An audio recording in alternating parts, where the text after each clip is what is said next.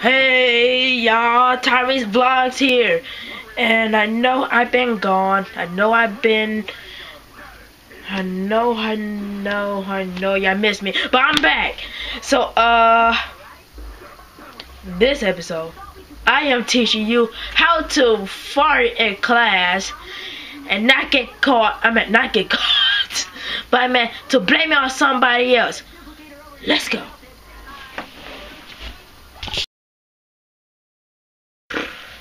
This is boring. I know.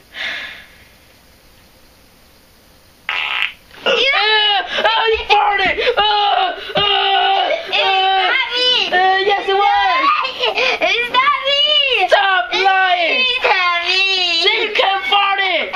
Stop farting! It's not me! Stop farting! Stop!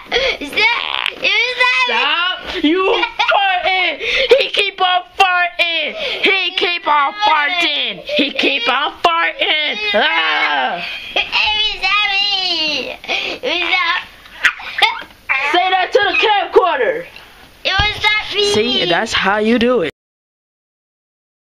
Well, guys, I hope this uh, tutorial had helped you. Because it had helped for me. And my friends. And people who else I know. So, yeah. If you fart in class, you know what to do. Alright? You're welcome. You just been saved by Tyrese Vlogs. Subscribe, rate, comment, be raped.